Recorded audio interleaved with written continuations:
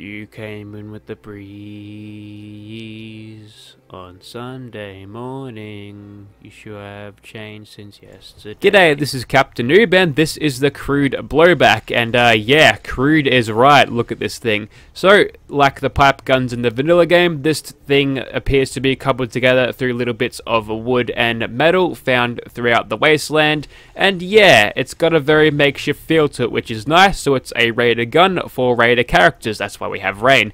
Anyways, moving to the receivers. Yes, I should probably mention this is a highly customizable standalone weapon with some animations. They're nice and subtle changes of the combat rifle animations. We'll get to those soon. But for the receivers, this thing is chambered in 45 ACP as standard. You can get an automatic receiver or semi-auto receiver for that. You can swap that down for the 38 special if you find yourself a little bit shy on this sort of mid-level pistol bullet. Or you could put 308s in here, which, um, yeah, the 308s have a little bit of power to them. I'm actually wondering whether this thing could actually hold up to the energy being released when a 308 is fired. I'm going to wager yes, we'll be fine. So we're going to chuck this with a automatic 308 receiver there, and we'll move on. This thing's definitely not going to explode in our face, not at all. Okay, so for the barrels, we'll get a little bit more range, although less accuracy out of a longer barrel, so we'll go for that.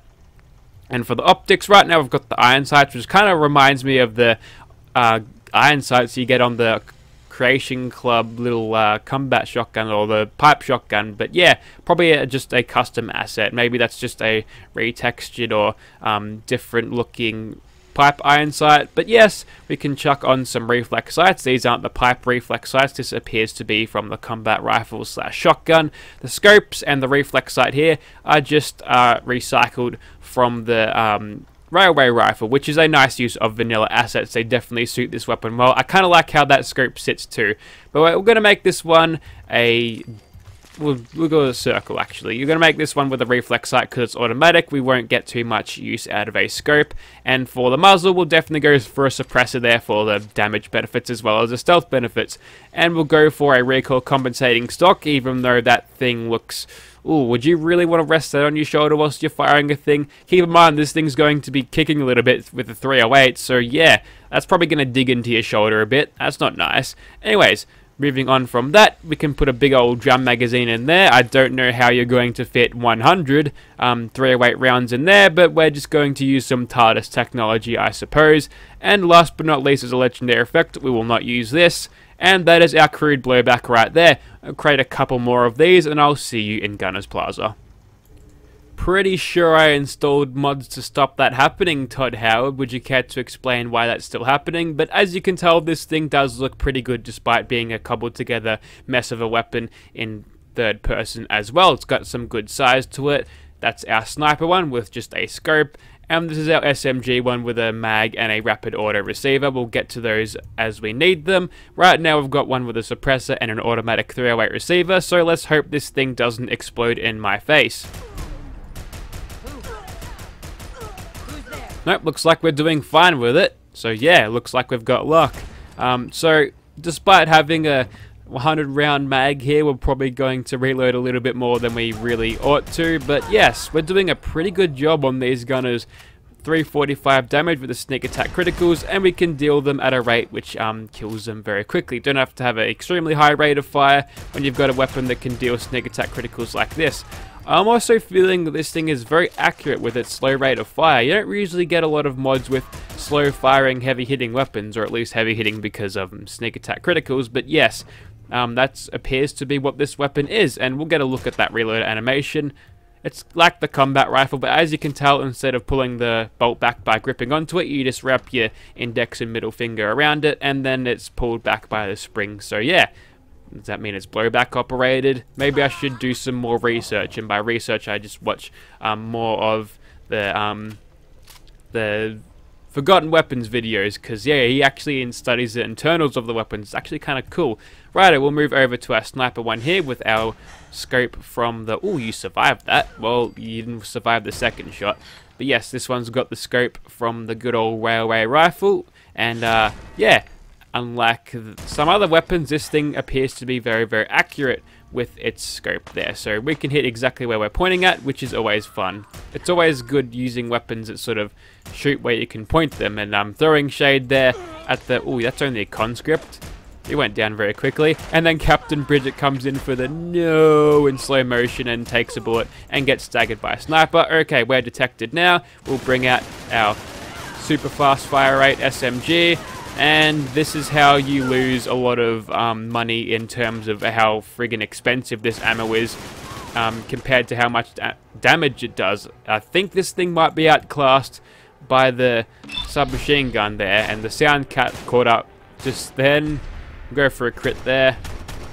Righto, not impressed by this thing firing the 45 bullets, although we got a nice staggerer there, which is kind of good. Good old commando perk putting in work, but it looks like using this thing in its 308 form is what's going to do the best.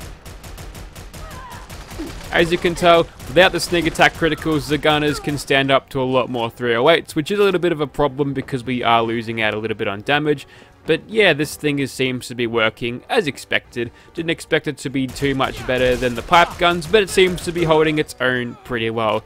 We are getting that 50% damage penalty on very hard, so that'll explain why this thing's damage isn't quite what it feels like it should be, but that's fine. We'll switch back over to our sniper now and we'll snipe the rest of them. So I'm actually really impressed with this weapon sounds. The um, It kind of sounds futuristic to my mind, which is probably not what everyone thinks of it, but yeah, I don't know, it, it sounds really strange, but I really like the sound of it. It's just, just got a nice thump to it, you know? Okay, so it looks like without the sneak attack criticals, this thing is not really a fast killer, which is, again, it's okay. This I didn't expect this thing to be a top tier weapon. Ah, screw it. We're going uh, full raider. We'll just charge up to these guys with a slow firing weapon and then kill them like that. And looks like we can do a little bit of good damage at range with that. I had a one earlier struggle because I did have to record this twice over now because I found out after recording that my mic had gone a little bit on the um, too loud side. I installed an update for Shadowplay and it just screwed up all of my mic settings, so it was kind of like peaking throughout it and it was terrible. Anyways, we'll move on to something else. Go to Dunwich Borers.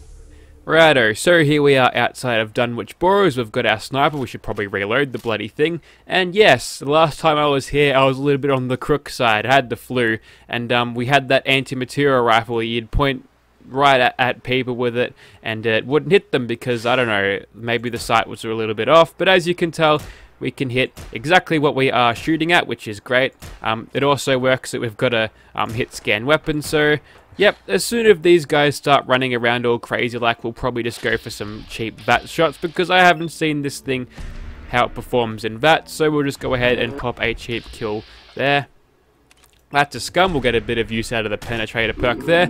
Punch right through that metal wall there, which is good. I guess a 308 could do that, right? The gun still hasn't fallen apart. Maybe a way to balance... Oh, wow, that Raider's just fallen way off. wonder if he's getting full damage from that. I think I just killed him because that XP sort of showed up after he fell down.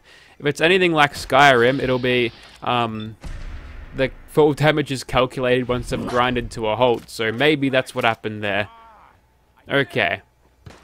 So we're in a pretty decent spot here. We've got these raiders coming up to us and none of them are really in a position to really kill me unless they attract them by missing them a heaps of times like that. Okay, I actually meant that to happen because I want to use this thing again. Since we're not going to be fighting gunners, these guys should be a little bit more squishy and this loud thing will probably be a little bit more effective it's marginally better, but nothing to really write home about. If you're going to use this thing, don't ever use it in anything other than 308 for any sort of end game operations there.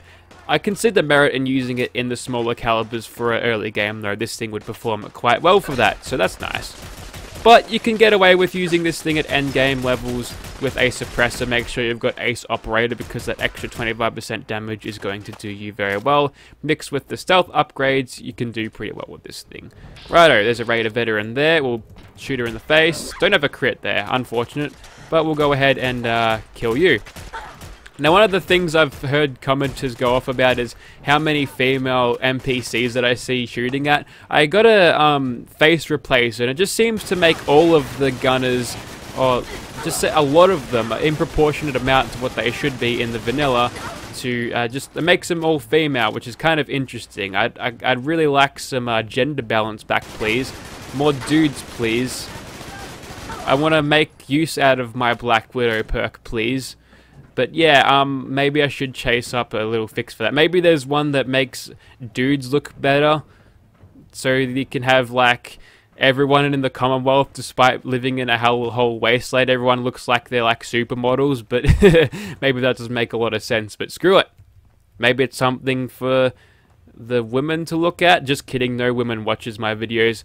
Anyways, I'll shut my mouth, we'll go in here. Righto, here we are in Dunwich Borers for real. I don't think we'll be using that uh, 45 ACP shooting one again. I think we can cheese through this place just easily enough with our 308 automatic thing. We're going to see how fast we can run through this. Probably don't have to pop a reload, so that's definitely going to speed up our time to kill on these guys or time to run through this thing.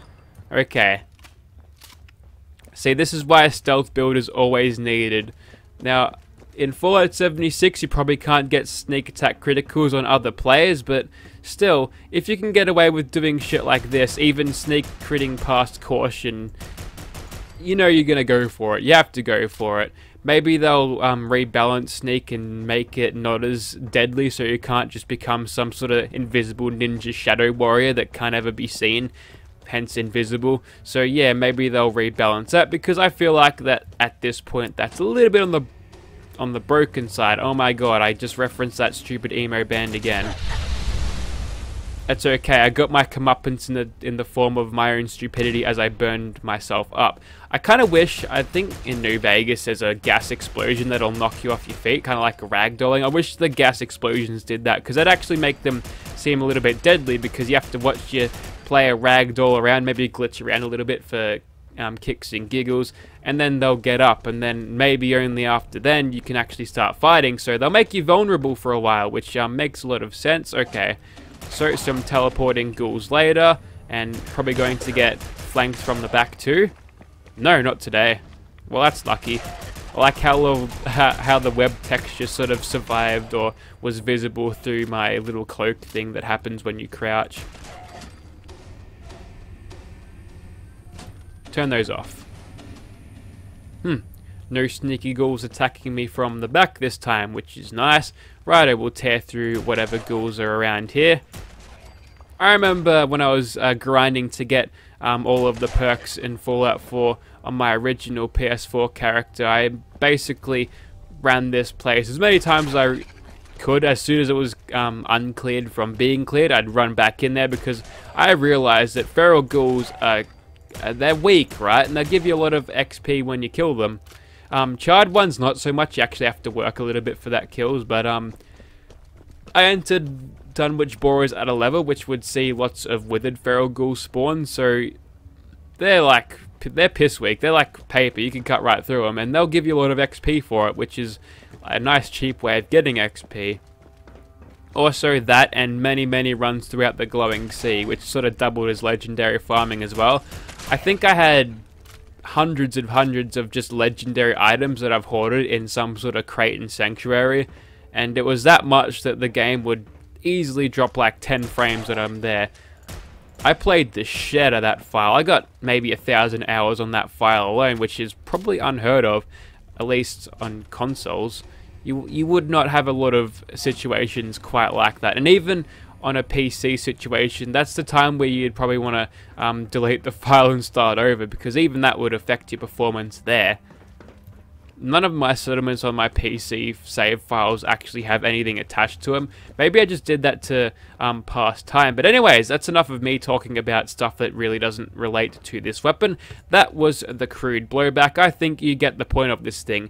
It's a weapon which um, looks, well, it's a lot deadlier than it looks. This thing looks like it's about to fall apart, but no, it can actually hold its own. It's better than your pipe gun, so yeah, that's a bonus too. So there's incentive to use this thing. Great for your raider characters. Um, if you'd like to see this in your game, check out the description. I think it's on Xbox One, not entirely sure. If it is, this mod's been out for a while. Um, it should be if the modder has our Axis has um, sort of put his mind to putting on an Xbox One, so it'll be there if it is. And also, this character is um, on all platforms, so no one can miss out on her. And maybe your Raine in your game will like using the crude blowback. Who knows? Thank you for watching, guys.